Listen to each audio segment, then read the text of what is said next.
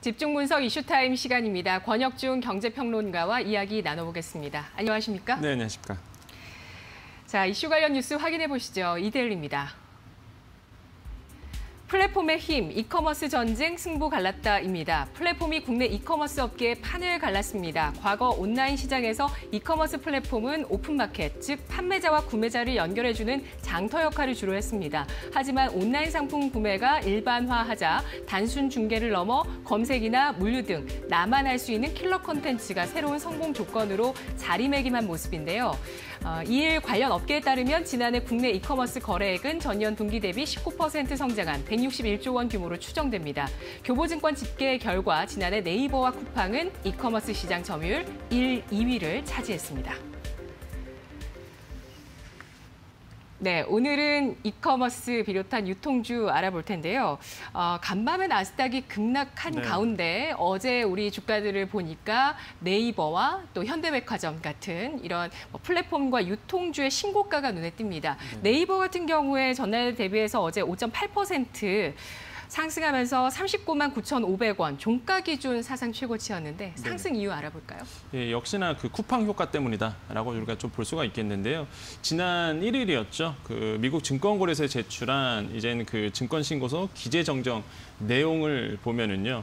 어, 공모가 주당이 한 27달러에서 30달러 아, 이렇게 나왔습니다. 그러면은 그 상단 최상단 30달러 기준으로 보면은 총 기업 가치가 한 57조 원 정도 이른다. 이런 산술적인 계산이 나올 수밖에 없습니다. 한 510억 달러에 이를 것으로 이제 추정을 하고 있기 때문에 그렇게 된다 그러면은 지난 중순에 이슈가 있었죠. 이미 쿠팡 이제 상장한다 이슈 나왔을 때에 어, 시장에서는 한 30조에서 50조 원 정도가 예상했었거든요. 그때도 관련주가 많이 뛰었는데 1일에 나왔던 이제 수정 보고서를 통해서 이게 더 상단으로 본다면은 한 7조 원, 7조 달러가 더 7조 원 정도가 더 늘었기 때문에 어, 이렇게 되면은 뭐 시장에선 당연히 또 반응할 수밖에 없던 부분이겠죠. 그래서 어, 예상치보다 높은 시장 가격 한 7조 원 정도 더 늘었던 부분이 있어서 아, 반응을 바로 이제는 시장에서는 했다라고 볼 수가 있겠고요.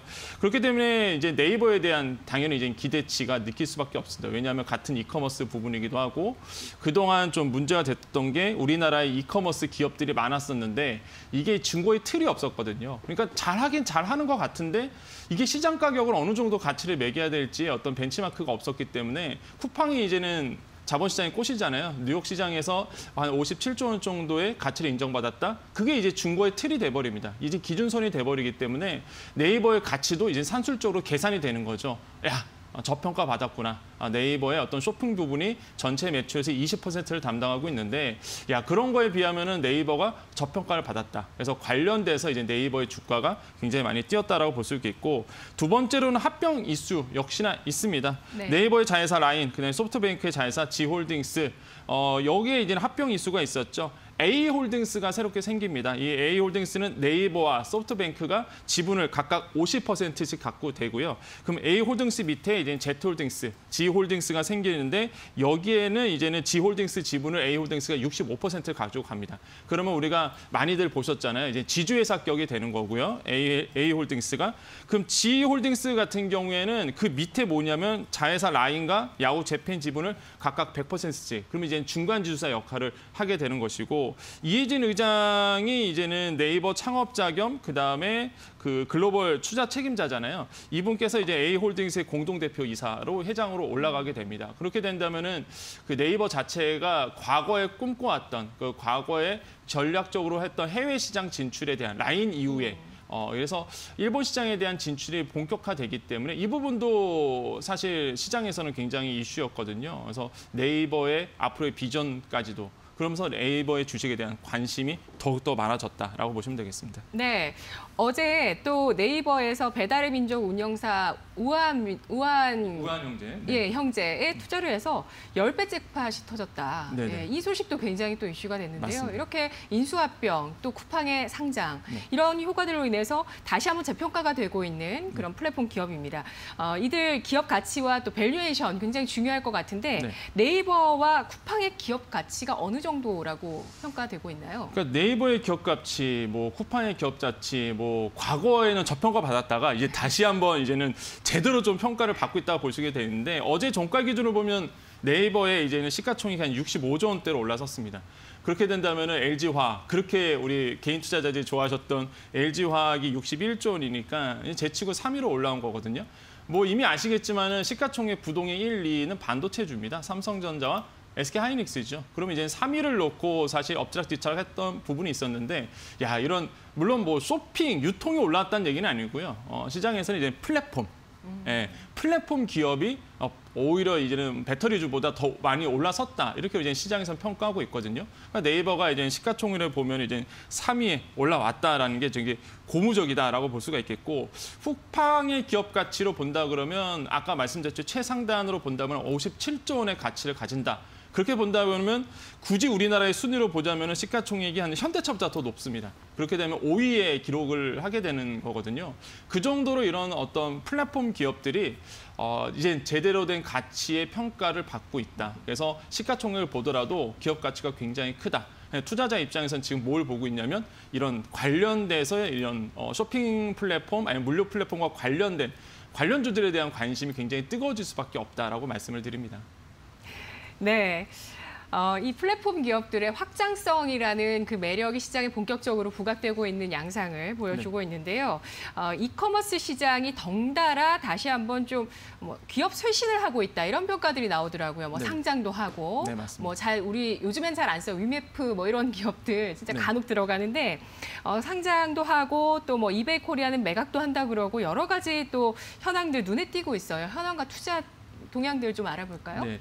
그러니까 이런 그 쇼핑 플랫폼이 어느 정도 사람들한테 관심을 가, 갖고 있냐면요. 그 한국거래소가 최근에 쿠팡 관련 종목 36건, 쿠팡과 관련된 종목 포함해서 36건에 대한 시장 경보 조치를 내렸는데 뭐 아시겠지만 시장 경보 조치는 이제 시장 투, 투자 주의가 있고 경보가 있고 위험 이렇게 순으로 나옵니다. 거기에서 투자 경고 종목에 어, 쿠팡 관련주 두 건을 포함시켰단 말이죠. 그 정도로 음. 뜨거웠다. 그 정도로 뜨거웠는데 그 e-commerce에 대한 관심들이 굉장히 높아졌어요. 그러면 앞으로 어떻게 투자를 해야 될까 본다 그러면 이 순위를 보면 우리가 좀 앞으로의 그 투자를 어떻게 선제적으로 할 수 있는지 알 수 있습니다.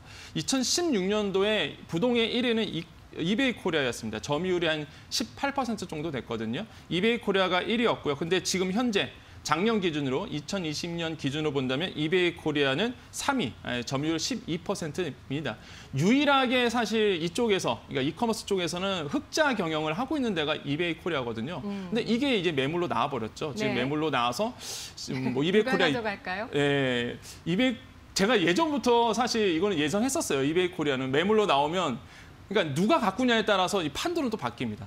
그러니까 만약에 발빠른 투자자라고 본다 그러면 이베이 코리아를 만약에 인수하겠다. 이게 네. 시그널이 네. 시장만 나와도 어, 이러한 그 인수하겠다는 기업에 대해서 관심을 가질 수밖에 없어요. 제가 봤을 때는 굉장히 주가의 변동폭이 커질 거다. 어, 이런 이슈를 잘 빨리 캐치를 네. 하셔야 되겠죠. 아직은 누가 갖고 간다 얘기는 없습니다. 왜냐하면 이베이 코리아는 5조 원을 원하고 있거든요.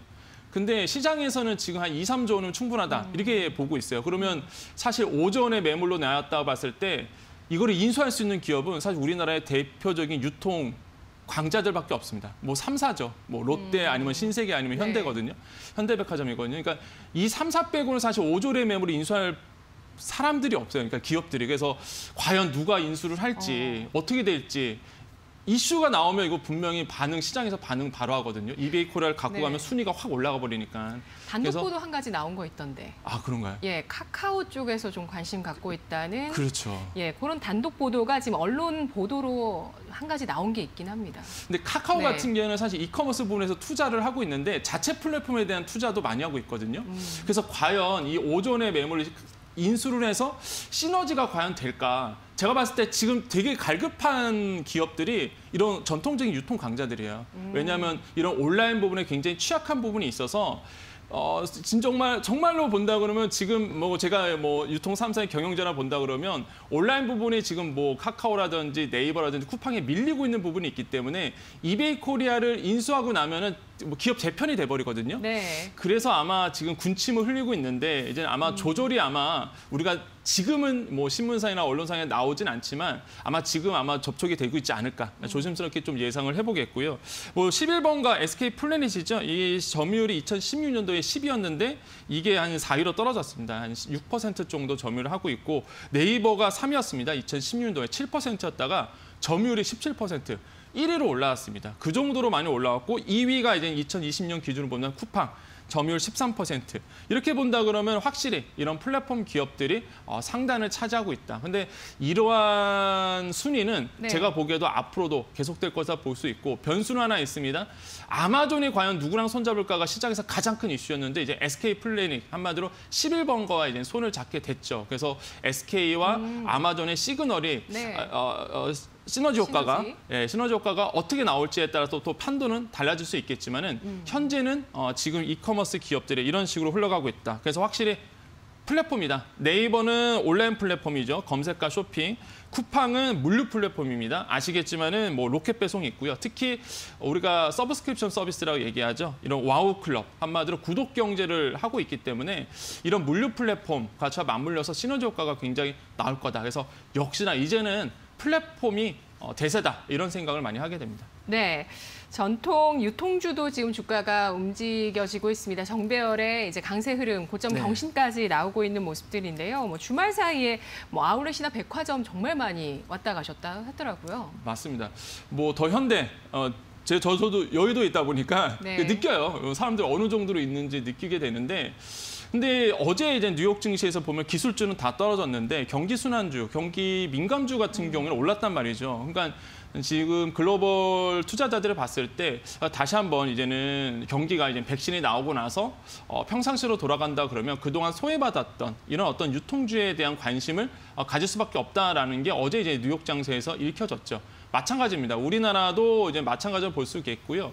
어제 또 외국인들이 또 많이 샀던 어, 순매수했던 종목들 중에 보면 유통주들이 좀 있었거든요. 그런 걸 본다 그러면 확실히 이제는 유통주에 대한 관심들이 늘어나고 있다.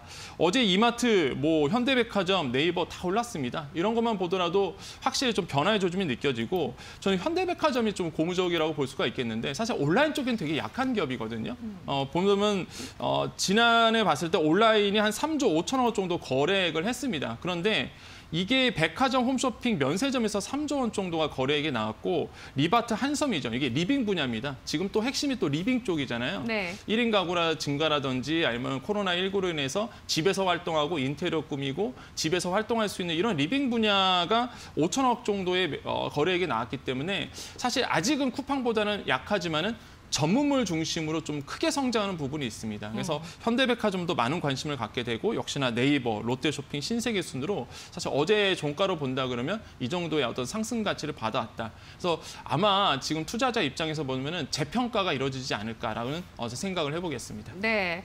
아, 아쉽게도 시간이 이제 또 얼마 안 남았습니다. 네네. 이제 마무리를 해볼 텐데요. 우리나라 이커머스 유통주 어, 이제 쿠팡 효과로 인한 낙수 효과 어디까지 기대할 수 있을까요? 저는 뭐 굉장히 긍정적이다.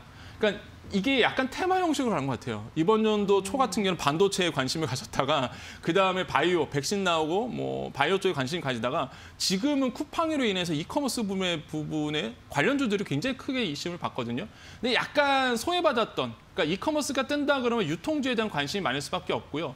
유통 3사 강자죠. 우리가 흔히 얘기하는 롯데, 신세계, 현대백화점 이 세 종목에 대해서 많이 소외를 받았던 부분이 있기 때문에 유통에 대해서 그다음에 온라인 쪽에서 굉장히 많은 지금 투자를 3사가 하고 있거든요. 네. 그래서 봤을 때 미래 성장 가능성 본다 그러면 이 유통 3사 강자에 대한 3사 강자에 대한 어, 관심도 어느 정도 다시 한번 이루어져 질 것이다라고 이제 평가를 해보겠습니다. 네, 2월의 마지막 주 주말에 매출이 백화점과 아울렛에서 특히 이제 롯데, 현대, 신세계 모두 100에서 200% 증가세를 맞습니다. 보였다고 하더라고요. valuation이 롯데쇼핑 0.3배 PBR 가리키고 있습니다. valuation 매력이 있으면서 모멘텀이 붙고 있는 유통주와 이커머스 확인해봤습니다. 잘 들었습니다. 네, 감사합니다.